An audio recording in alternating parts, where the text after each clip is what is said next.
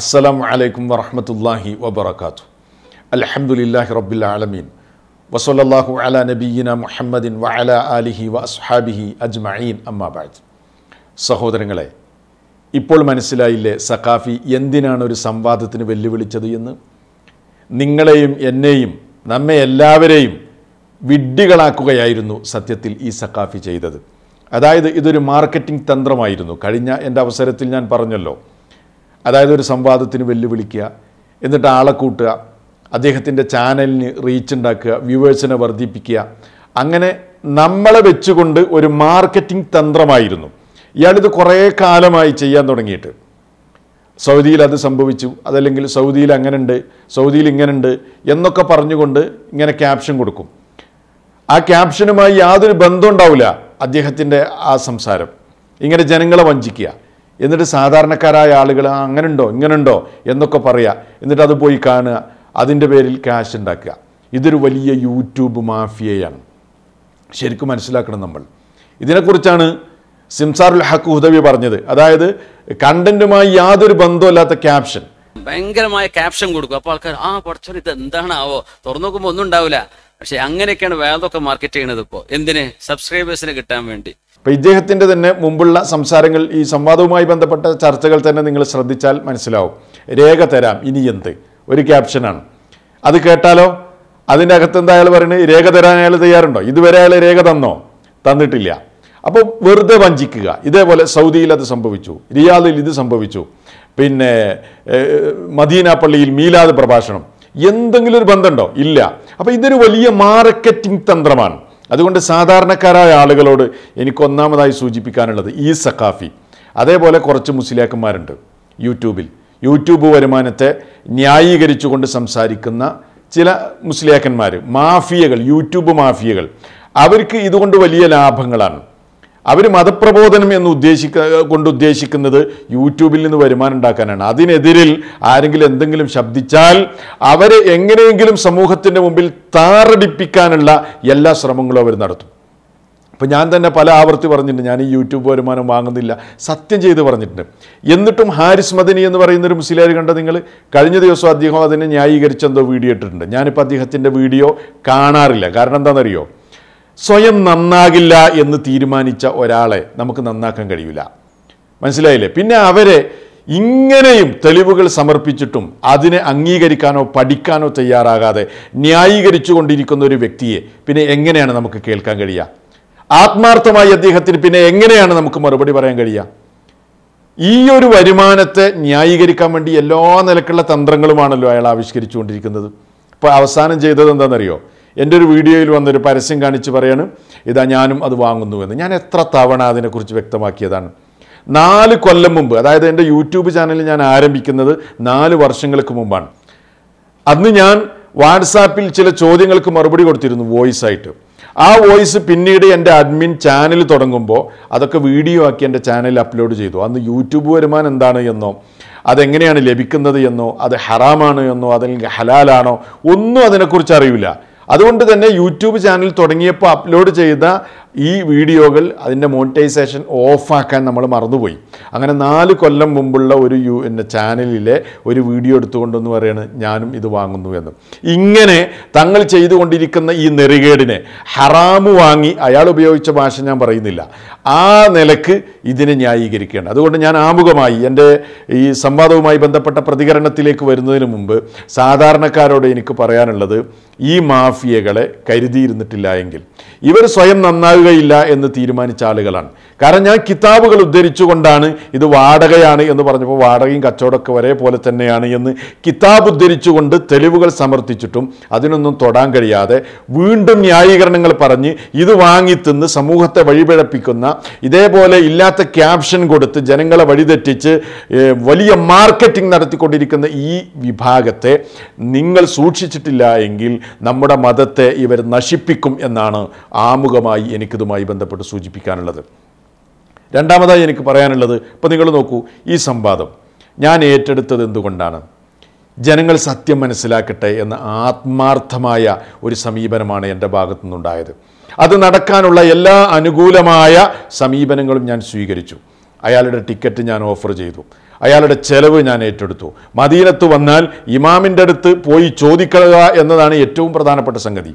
കാരണം മദീന പള്ളിയിൽ മീലാദ് പ്രഭാഷണം നടന്നു എന്ന ചർച്ച ഇയാൾ കൊണ്ടുവന്നത് കൊണ്ടാണ് ഇങ്ങനെ സംവാദത്തിലെത്തിയത്. അതാണ് ആദ്യം തീരുമാനമാകേണ്ടത്. അതുകൊണ്ട് മദീന പള്ളിയിൽ വരികയും ഇമാമിനോട് ഈ വിഷയം ചർച്ച ചെയ്യുകയും അത് വീഡിയോ ചെയ്ത് പ്രേക്ഷകരെ ശ്രോതാക്കളെ കേൾപ്പിക്കുകയും ചെയ്യണമെന്ന് ഞാൻ പറഞ്ഞിരുന്നു.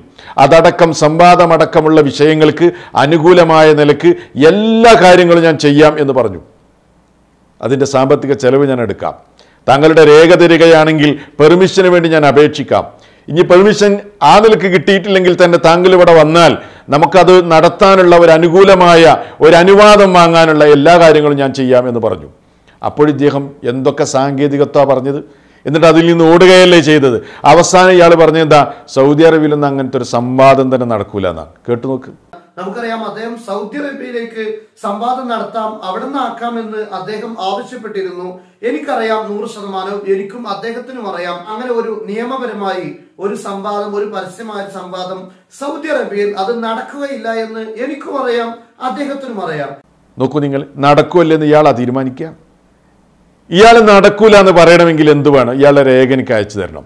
എന്ന് ഞാൻ ബസാറിൽ പോകണം അപേക്ഷിക്കണം. എന്നിട്ട് അപേക്ഷിച്ചിട്ട് അത് തള്ളണം. തള്ളിയെങ്കിലല്ലേ ഇയാൾക്ക് നടക്കില്ല എന്ന് ഉറപ്പിച്ച് പറയാൻ കഴിയുള്ളൂ? അല്ലാതെ ഇയാൾക്ക് പറയാൻ കഴിയുമോ ഇവിടെ സൗദിയിൽ എന്തൊക്കെ പ്രോഗ്രാമാണ് ഇപ്പോൾ ഈ അടുത്ത കാലത്ത് നടക്കുന്നത്? പല പ്രോഗ്രാമുകൾക്കും ഇവിടെ പെർമിഷൻ കൊടുക്കുന്നുണ്ട്. ഇനി മാത്രമല്ല ഇനി അങ്ങനെ ഡയറക്റ്റ് അങ്ങനെ ഒരു പെർമിഷൻ കിട്ടിയിട്ടില്ലെങ്കിൽ പോലും ഇവിടെയുള്ള ജാലിയാത്തുകൾ.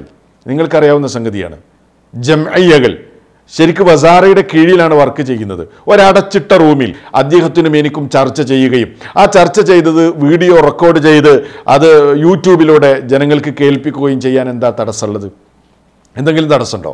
ഒരു തടസ്സമല്ല നിങ്ങൾ നോക്കൂ അപ്പോൾ ഇത് നടക്കാനാണോ ഇയാൾ വെല്ലുവിളിച്ചത്? നിങ്ങൾ ശരിക്കും മനസ്സിലാക്കുക സഹോദരങ്ങളെ ഇവരല്ല അടച്ചിട്ട റൂമിൽ ലൈവ് കൊടുക്കുന്നത് അറിവിന്നിലാവ് ലൈവ് കൊടുക്കുന്നത് മദനീയ ലൈവ് കൊടുക്കുന്നത്? ഇവിടെ എന്ത് പെർമിഷൻ എടുത്തിട്ടാണ് ഇവർ ഇത് ചെയ്യുന്നത്? മക്കത്തുനിന്നും മദീനത്തുനിന്നും ഒക്കെ? അതേപോലെ എന്താ ഇത് ലൈവ് കൊടുത്തൂടെ അതേപോലെ എന്താ ഇത് ജനങ്ങളെ കേൾപ്പിച്ചുകൂടെ? ഒന്നിച്ചിരുന്ന് ചർച്ച ചെയ്തുകൂടെ? എന്താണ് ഇയാൾ വരാത്തത്? അതല്ലെങ്കിൽ ഔദ്യോഗികമായ നിലയ്ക്ക് എടുക്കണമെങ്കിൽ എന്താ രേഖ തരാത്തത്? എന്താണ് മദീനത്തെ ഇമാമിനെ കാണാൻ ഇയാൾ താല്പര്യം കാണിക്കാത്തത്? അപ്പോൾ വഞ്ചനയാണിത്. ഇത് മാർക്കറ്റിംഗ് ആണ്. മാർക്കറ്റിംഗ് തന്ത്രമാണ്. എന്നെയും നിങ്ങളെയും വെച്ച് കളിക്കുകയാണ് ഈ സഖാഫി. ശരിക്കും നമ്മൾ മനസ്സിലാക്കണം. എന്താ വിചാരിച്ചത് ഇവരൊക്കെ?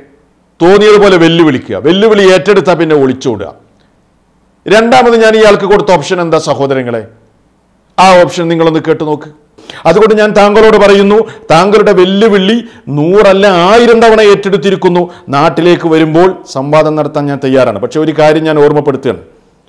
ഈ സംവാദം സാധാരണ സംവാദങ്ങളൊക്കെ പിരിഞ്ഞു പോകാറുള്ളത് അത് ഉടക്കാറുള്ളത് വ്യവസ്ഥ എഴുതുന്ന സമയത്താണ്. അതുകൊണ്ട് അതിനുള്ളൊരു അവസരം ഇനി ഉണ്ടാകരുത്.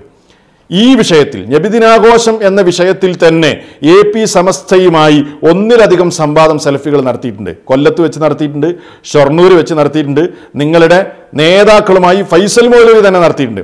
ആ സംവാദത്തിലൊക്കെ മുമ്പോട്ട് വെച്ചൊരു വ്യവസ്ഥ നമ്മുടെ രണ്ടു കൂട്ടരുടെയും കയ്യിലുണ്ട്. ആ വ്യവസ്ഥയുടെ അടിസ്ഥാനത്തിൽ തന്നെ അതേ വിഷയം തന്നെയാണല്ലോ നമ്മൾ ഈ വിഷയവും ഇൻഷാ അള്ളാഹ് സംവാദം നടത്തും. അതുകൊണ്ട് ഇനി സംവാദത്തിന്റെ വ്യവസ്ഥ പറഞ്ഞ് താങ്കൾക്ക് അതിൽ നിന്ന് ഒളിച്ചോടാനുള്ള ഒരു അവസരമില്ല അതിന് താങ്കൾ തയ്യാറാകണമെന്ന് അതേ വ്യവസ്ഥയിൽ തന്നെ ഈ സംവാദവും നടക്കണമെന്ന് ഞാൻ ആഗ്രഹിക്കുന്നു. നാട്ടിൽ വരുമ്പോൾ അത് നടത്താനും അതുമായി ബന്ധപ്പെട്ട സർവകാര്യങ്ങൾക്കും ഞാൻ തയ്യാറാണ് എന്ന് ഒരിക്കൽ കൂടി ഓർമ്മപ്പെടുത്തുന്നു. ഇനി ഡേറ്റ് മാത്രമാണ് ഈ വിഷയത്തിൽ തീരുമാനിക്കപ്പെടേണ്ടത്.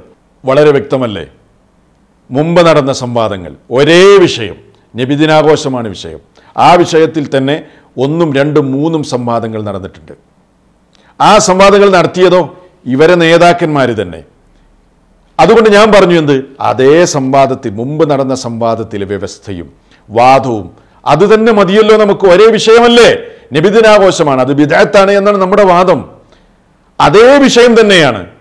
അപ്പോൾ ഇയാൾ പറയാ എന്ത്? അത് പറ്റൂല. ഇത് ഞാനാ വെല്ലുവിളിച്ചത്. ഇത് നടക്കാൻ വേണ്ടിയിട്ടുള്ളതാണോ? കേട്ടു നോക്ക്.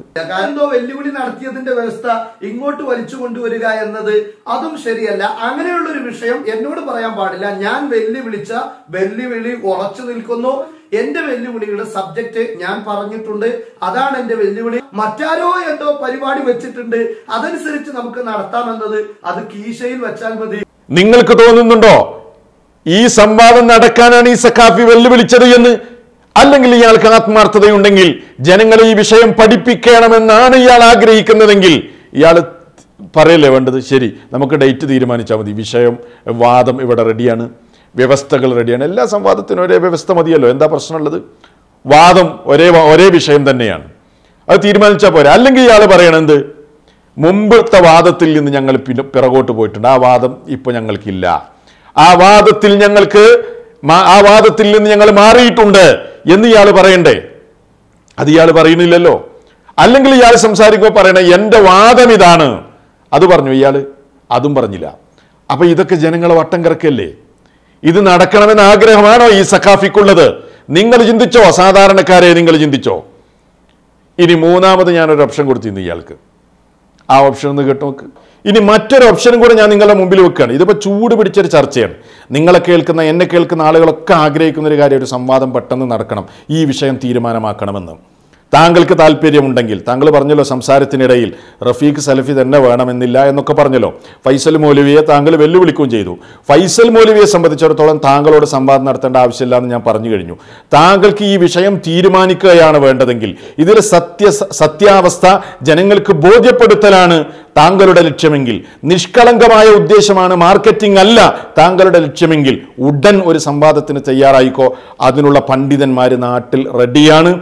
വ്യവസ്ഥയും രണ്ടു കൂട്ടരും മുമ്പ് തയ്യാറാക്കിയത് നമ്മുടെ മുമ്പിലുണ്ട്. ഒരു ഡേറ്റ് തീരുമാനിച്ച് ഉടൻ സംവാദം നടത്താം. അതിന് തയ്യാറാണ്. താങ്കൾ ഒരുക്കമുണ്ടോ എന്ന് വീണ്ടും ചോദിക്കുകയാണ്. ഒരുക്കമുണ്ടെങ്കിൽ അറിയിക്കണം.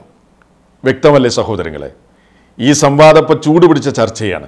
ഇത് നടക്കണം. ജനങ്ങളെ വിഷയം പഠിപ്പിക്കലാണ് ആഗ്രഹമെങ്കിൽ ആത്മാർത്ഥതയോടുകൂടെയാണ് ഈ സക്കാഫി വെല്ലുവിളിച്ചതെങ്കിൽ ഇയാൾ പറയേണ്ടത് എന്താ?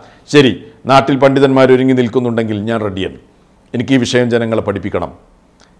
എന്റെ വാദം സമർത്ഥിക്കാൻ ഞാൻ ഒരുക്കമാണ്. അതുകൊണ്ട് സംവാദത്തിന് റെഡിയാക്കോ വ്യവസ്ഥ ഇവിടെ റെഡിയാണ് ഡേറ്റ് തീരുമാനിച്ചാൽ മതി. എത്രയും വേഗം നമുക്കതിന്റെ നടപടിക്രമങ്ങളിലേക്ക് പോകാം. അതുകൊണ്ട് ആരാണ് നാട്ടിൽ ഒരുങ്ങി നിൽക്കുന്നത് അവരുടെ അഡ്രസ്സ് തരൂ അതല്ലെങ്കിൽ എന്റെ അഡ്രസ്സ് അവർക്ക് കൊടുക്കൂ. എന്നിട്ട് നമുക്ക് ഡേറ്റ് തീരുമാനിക്കാം സംവാദം നടത്താം എന്നല്ലേ പറയേണ്ടത്? ചിന്തിക്കുക നിങ്ങൾ ചിന്തിക്ക്. ഇതാണ് ഇവരുടെ സ്ഥിതി. ഇതാണ് ഇവരുടെ അവസ്ഥ. ഇനി വേറെ രസകരമായ സംഗതി ഉണ്ട് കേട്ടോ. ഈ ചർച്ചയൊക്കെ നടക്കുന്നതിനിടയിലും സക്കാഫി അറിയാതെ സമ്മതിച്ചു പോയൊരു യാഥാർത്ഥ്യമുണ്ട്. അതെന്താണെന്ന് വെച്ചാൽ കഴിഞ്ഞ ദിവസം ഇയാളെ വീഡിയോ ഒക്കെ താഴെ എനിക്ക് ഈ സംവാദവുമായി ബന്ധപ്പെട്ട് ഇയാൾ പോസ്റ്റ് ചെയ്ത റിപ്ലൈ ഉണ്ടായിരുന്നല്ലോ. അതിന് താഴെ ഒരു കമന്റ് വന്നു. താഹിർ താഹിർ എന്നാണ് ആ കമന്റ് എഴുതിയ ആളെ പേര്. വളരെ അയാൾ എഴുതുകയാണ് വളരെ കറക്റ്റാണ് നബിദിനവും മൗലൂദ് പാരായണവും ഇല്ലാത്ത ഒരു നാട്ടിൽ അതിനെ ചെറുക്കായും കുഫറുമായും വിശ്വസിക്കുന്ന ഒരു രാജ്യത്ത് പോയി സംവാദം നടത്തുന്നത് അപകടകരമാണ്. ഇങ്ങനൊരു കമന്റ് വന്നപ്പോൾ ഈ സക്കാഫി എന്താ ചെയ്തതെന്നറിയോ? നിങ്ങൾക്കത് കാണാം കമന്റിൽ അയാൾ അതിന് അംഗീകാരം കൊടുക്കുകയാണ്. ഈ കമന്റിന് അയാൾ അംഗീകാരം കൊടുക്കുകയാണ്. നിങ്ങൾ നോക്കൂ. അപ്പോൾ ഇയാൾ സമ്മതിക്കുകയാണ് നബിദിനാഘോഷമോ മൗലിദ് പാരായണമോ അതുമായി ബന്ധപ്പെട്ട അനാചാരങ്ങളോ ഇല്ലാത്ത ഒരു നാടാണ് സൗദി അറേബ്യ എന്ന് ഇയാൾ തന്നെ അംഗീകരിച്ചു. അള്ളാഹു അക്ബർ. ചിന്തിച്ചു നോക്കൂ നിങ്ങൾ. ഇതാണ് വസ്തുത. അപ്പോൾ ഇയാൾ മീലാദ് പ്രഭാഷണം എന്ന് പറഞ്ഞതോ? ഇപ്പോൾ വെള്ളത്തിലായില്ലേ? ഈ പച്ചക്കളവാണ് ഈ രൂപത്തിൽ ഇയാൾ പ്രചരിപ്പിച്ചുകൊണ്ടിരിക്കുന്നത്.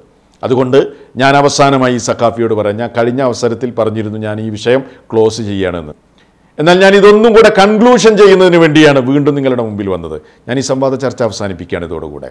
എനിക്ക് ഈ സഖാഫിയോട് അവസാനമായി പറയാനുള്ളത് ഇനിയും നിങ്ങൾക്ക് അവസരമുണ്ട്. ഈ മൂന്ന് ഓപ്ഷനുകളുണ്ട്. ഇതിലേത് വേണമെങ്കിലും നിങ്ങൾക്ക് തിരഞ്ഞെടുക്കാം. മദീനത്തേക്ക് ഇനി വരാൻ താങ്കൾ ഒരുക്കമാണെങ്കിൽ അത് നിങ്ങൾ പറയണം. നിങ്ങൾ ഒരിക്കലും ഒളിച്ചോടരുത്.